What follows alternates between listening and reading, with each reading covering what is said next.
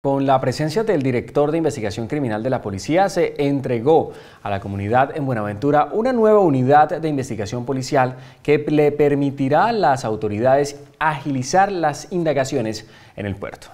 Iniciamos con la información en CNC Noticias fin de semana. Con la presencia del director de investigación criminal de la policía, se entregó a la comunidad en Buenaventura una nueva unidad de investigación policial que le permitirá a las autoridades agilizar las indagaciones en el puerto.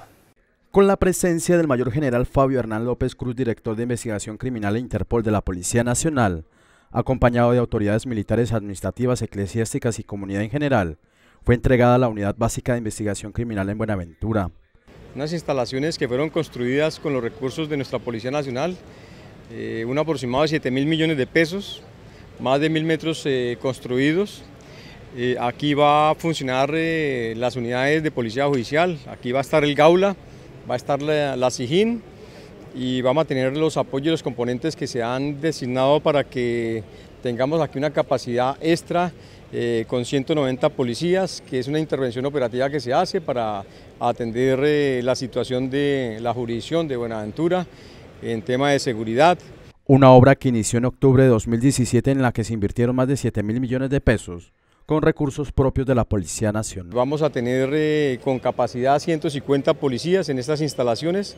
Hoy hacemos la entrega para que tengamos eh, bienestar, capacidad y pues que tenga cada policía un mejor espacio de trabajo y pues que con esta entrega de instalaciones mejoremos igualmente las capacidades tanto de inteligencia y especialmente lo que es la investigación criminal para esclarecer los hechos violentos en la jurisdicción. Igualmente eh, es una articulación de toda nuestra Policía Nacional acantonada en esta jurisdicción.